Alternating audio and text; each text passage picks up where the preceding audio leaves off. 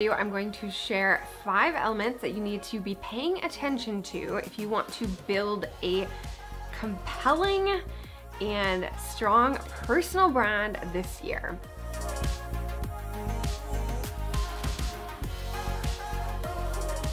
My name is Kaye Putnam. I'm the psychology driven brand strategist. I have helped hundreds of one on one clients and thousands of students in my branding courses to build amazing brands. And I would love to share that intel with you. This is the work that can double or triple your revenue. It's what grows your audience.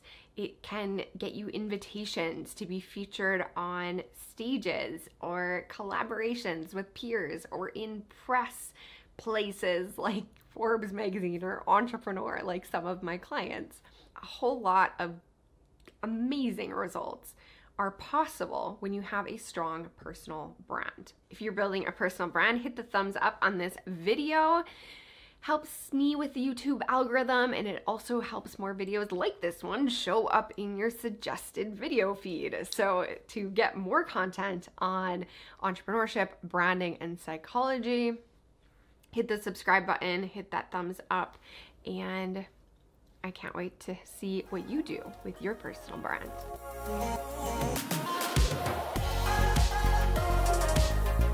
The first thing that a powerful personal brand needs is a unique personality and point of view. Nobody wants to follow the human that doesn't really know who they are or they're trying to be like everybody else. Think about making friends in the real world.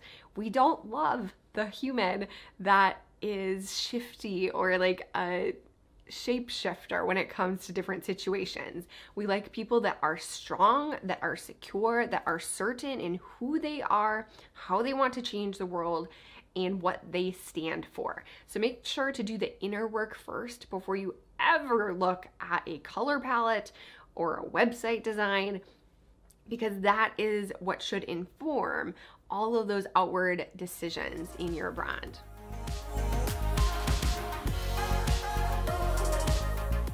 Second thing that you need to start to do is to build a body of work. Maybe your body of work is hilarious TikTok videos where you're sharing enthusiastically and entertainingly about whatever your topic is. Maybe you're writing long form, in depth blog posts. Maybe you have a podcast. Maybe you have a YouTube channel. But the key thing here is that you need to be a leader. You need to be proactive about building a body of work that people can know, like, become or start to know, like, and trust you through. When we're coming into contact with people online, it's not the same. It's a lower trust environment than when we're meeting people in person. So you need to be proactive about creating content that people will start to know you for. And then through that content, you can weave in elements of your story, of your expertise, and again, like we said before, your personality and point of view so that people stick around.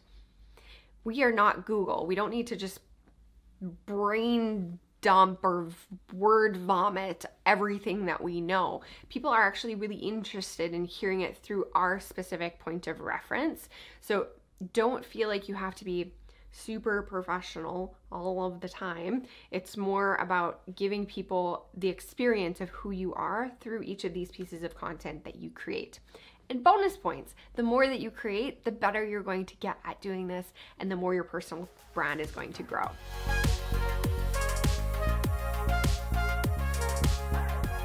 third thing to think about when you're building a powerful personal brand is where are your platforms? Where are you going to speak? Where are you going to create this content?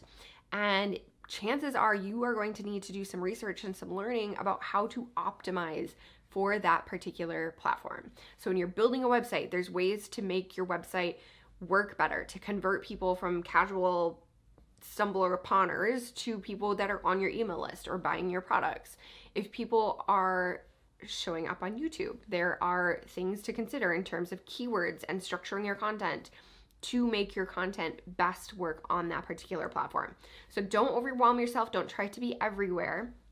Choose your favorite platform that you want to be on, maybe two platforms, and figure out how to best shape your body of work to be found or to fit on that content or to succeed on that platform.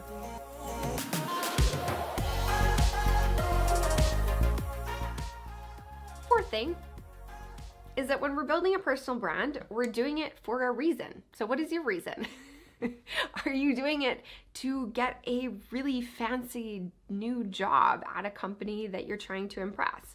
Are you trying to sell a book that you wrote? Are you selling online courses? Are you selling other people's products, like as an affiliate or as a brand partner? What is your offer? What is the thing that you are selling? Make sure that you know what that is so that you can align your content to funnel towards that offer.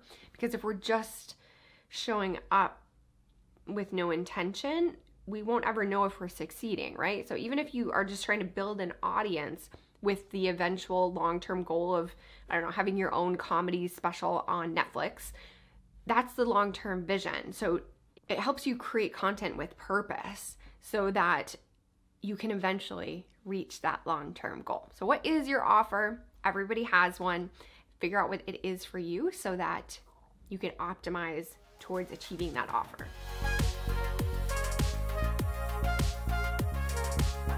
And our final piece of building a strong personal brand this year and next year and years into the future is to consider how you are going to get visible to brand new audiences who have no idea that you exist at this moment.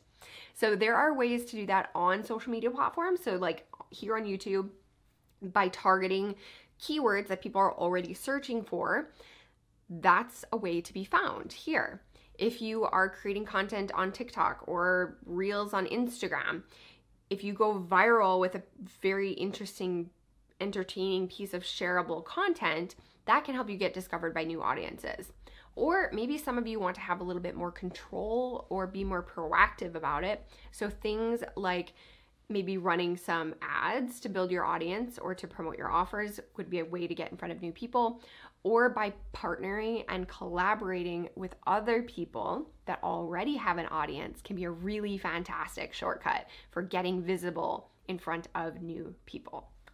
So there you have it. Five incredibly crucial ingredients to build a strong personal brand. So that was having a strong personality and point of view. And no, this doesn't mean that you have to be the next comedian. I am so far from funny. I am much more nerdy than I will ever be funny.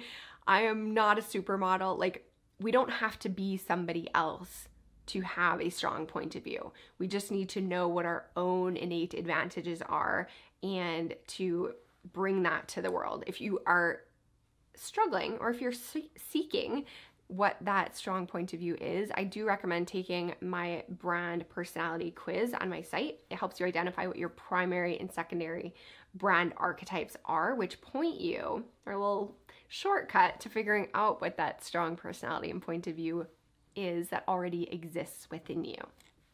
Second is to develop that body of work, weaving in pieces of your story and expertise. Third was to pay attention to which platforms your brand is showing up and optimizing for growth on those platforms.